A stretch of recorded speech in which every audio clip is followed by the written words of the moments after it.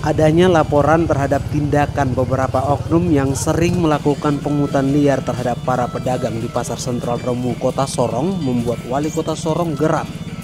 Pasalnya hal tersebut sudah merupakan tindakan pidana karena tidak berdasarkan ketentuan.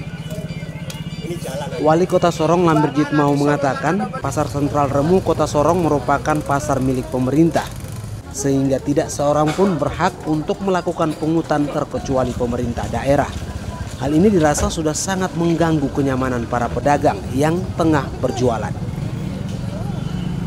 Siapa pun dia yang bentuk kelompok-kelompok di pasar, Kapolres siap panggil dan minta pertanggungjawaban.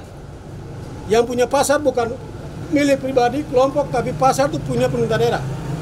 Fasilitasi siapa pemerintah daerah, pengguna pasar itu membayar kontribusi masuk pada pemerintah daerah, bukan kepada uh, pribadi. Kalau ada yang lakukan itu, urusan dengan polisi. Langkah lebih lanjut pemerintah akan menutup pasar beberapa hari ke depan dan menata kondisi pasar yang sudah terlihat semeraut.